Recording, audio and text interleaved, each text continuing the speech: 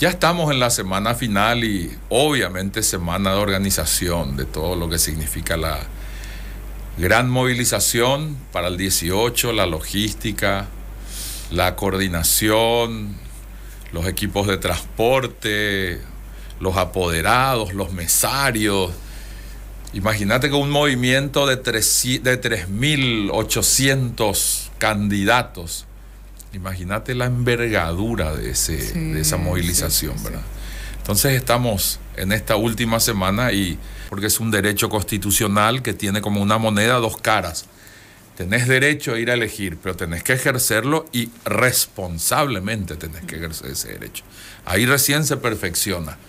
Y yo estoy seguro que hemos creado mucha conciencia y hemos participado en este proceso que nos hace debutar en este sistema. En, las municipales fue una pequeña escaramuza, pero esta es la primera vez que a nivel nacional realmente vamos con listas abiertas, desbloqueadas y con voto preferencial.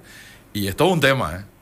Es todo un tema. Así que vamos a ver cómo, cómo salen las, elecciones. El, el, gran escrutinio es en abril, de todas maneras, ¿verdad? Pero ya vamos a tener una fotografía de cómo es el sistema de cómo participa la gente, de qué porcentaje, de qué respaldo, qué, legitimación tienen las candidaturas.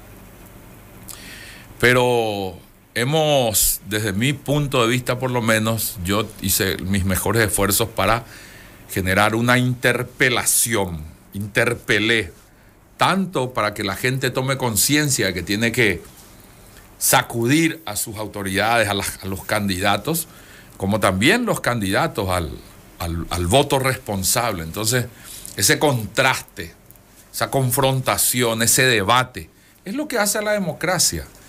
La democracia tiene dos, dos momentos.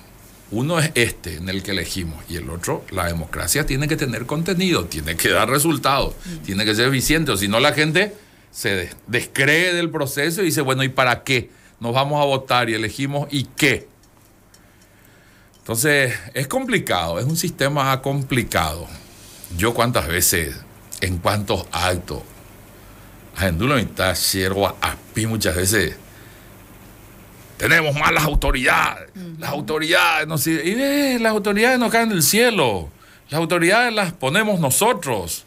Entonces no nos quejemos si tenemos malas autoridades y no participamos o vendimos nuestro voto muchas veces por diversas circunstancias. Entonces,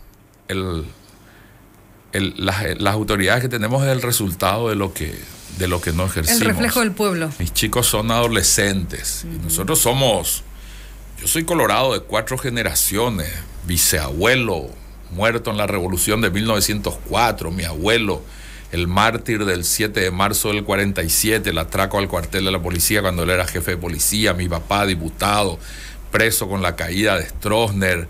Es decir, somos activistas. Mis hijos ya son de cinco generaciones, pero yo les digo a mis hijos el día de la votación, bueno, voy a eh, saco que así que a votar, a votar, porque general caballero, las banderas del partido, la polca, la historia, la tradición. Y mis chicos me dicen, papá, si tus candidatos colorados son unos delincuentes, me chupa un huevo la historia. En seco me dicen. Y si mis hijos con toda la carga emocional que tienen de ser una casa de activistas colorados piensan así, me imagino que todos los chicos piensan así. Entonces, si no tenés buenos candidatos, ¿cómo pensás ganar las elecciones? Después, escuchás esas justificaciones, no lleven de palo ni dañan de traicionar bajo la mitad. ¿Qué te van a traicionar ni vender? Tenés malos candidatos y la gente no te vota. Vas a las generales y no te votan. Puede pasar internas, podemos manejarnos entre nosotros al interior del partido, pero si tenés malos candidatos, llegan las elecciones generales y perdés. Entonces elijamos bien.